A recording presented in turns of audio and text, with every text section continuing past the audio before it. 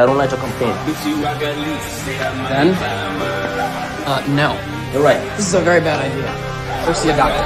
World to thick? Just be my friend, friend. It's vast known the country. I might come. I got IP. I'm a.